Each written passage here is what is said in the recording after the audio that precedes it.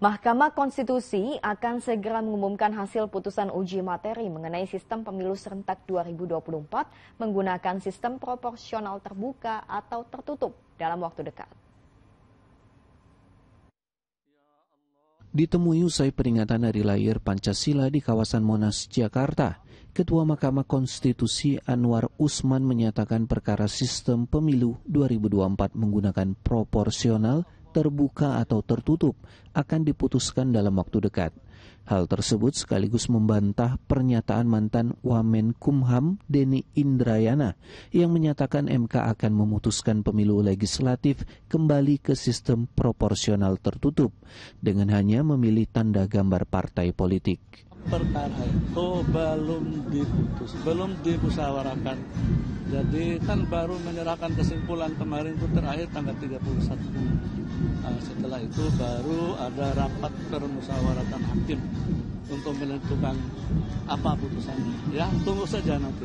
Kan investigasinya Pak soal kebocoran putusannya? Ah, itu saya bilang apa yang bocor belum putus. Targetnya Pak untuk nanti putusannya berapa kan kemarin sudah masuk kesimpulan ada targetnya sendiri. Ya insya Allah dalam waktu dekat. Oke? Okay? Bulan Juni ini Pak. Ya mudah-mudahan.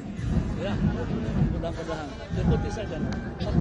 Pakar Hukum Tata Negara Bivitri Susanti menilai dengan kondisi partai saat ini lebih baik menggunakan sistem proporsional terbuka. Selain itu, menurut Bivitri, sistem pemilihan bukan ranah dari Mahkamah Konstitusi untuk dapat memutuskan. Partainya ini masih bobrok sekali, jadi kalau misalnya kita pilihnya partai, kita nanti nggak bisa menjamin siapa yang akan dipilih oleh partai dan kita sebagai pemilih kenal atau enggak. Sekarang kita kenal aja nggak bisa ngapa-ngapain, apalagi kalau tertutup.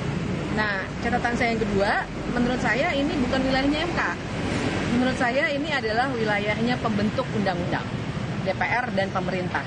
Silahkan kita perdebatkan secara terbuka, melibatkan masyarakat di DPR.